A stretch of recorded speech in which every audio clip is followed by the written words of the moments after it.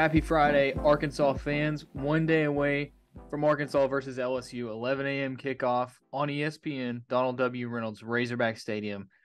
Oh my goodness. Um, it's basketball season, Robert. I, I think that that's where the Arkansas fan base is at.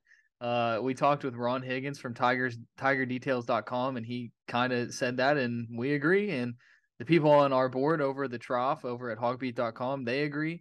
So it, it the, the the football team has lost a little bit of interest from the fan base, but I'll tell you what, if they beat LSU on Saturday, tomorrow, Saturday, if they beat a top 10 LSU team, they run across that field, grab that golden boot, you're talking about a lot more interest getting into this football team. I mean, that's that's normally how it works, but it's just everybody is down after that loss to Liberty.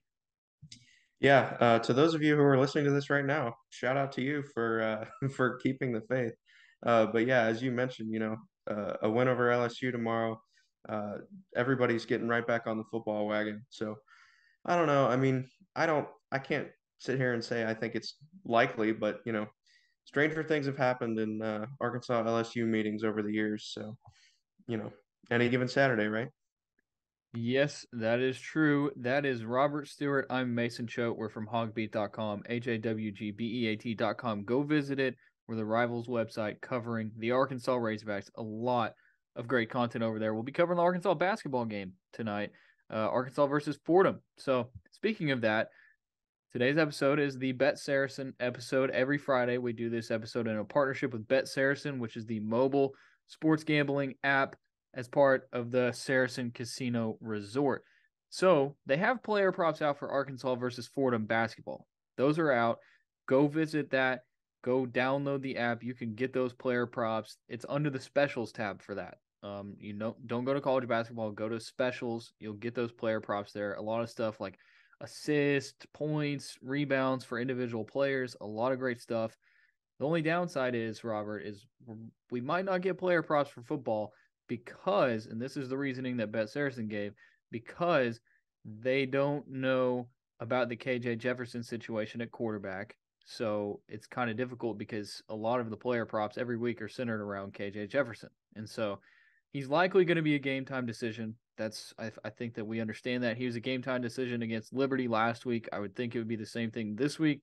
So you might not get player props at Bet Saracen, but keep an eye on it. You can follow them on Twitter at Bet Saracen. So all we have to go with are the the generic lines of you know money line, spread, over under, and team totals. So let's get into our picks, Robert. I'll let you go first.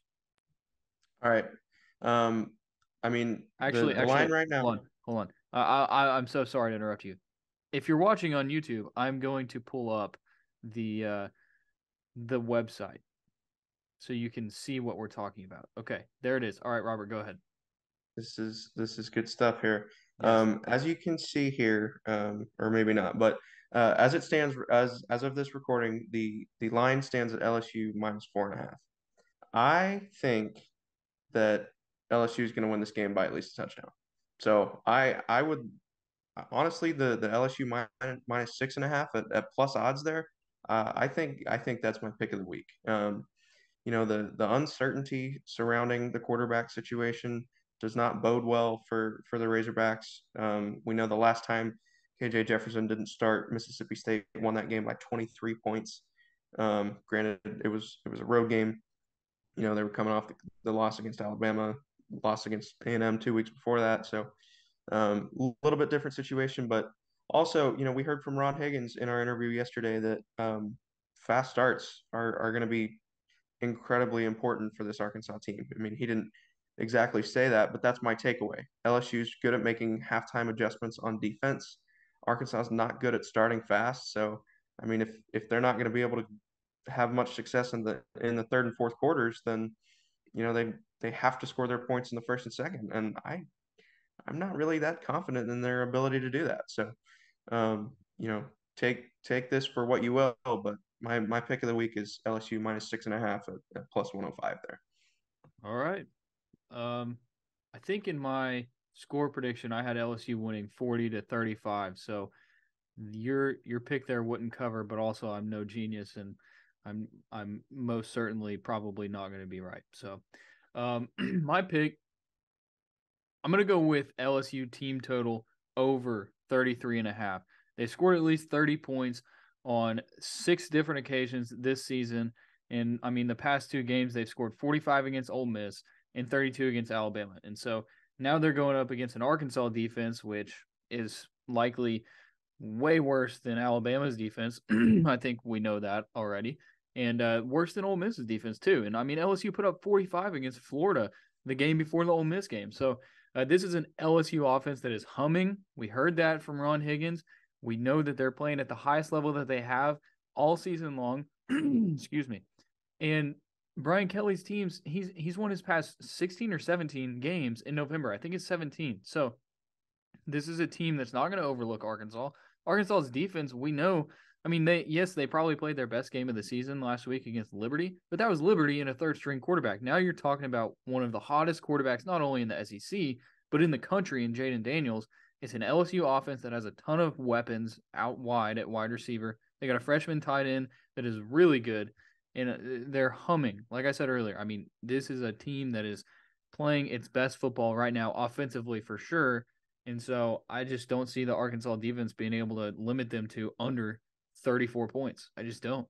Um, I, I mean, we can go through the Arkansas uh, games that they've played. I mean, we talked about the Liberty game, Auburn, awful offense. They gave up 35 to BYU, who was a good offense, 40 to Mississippi State, 49 to Alabama.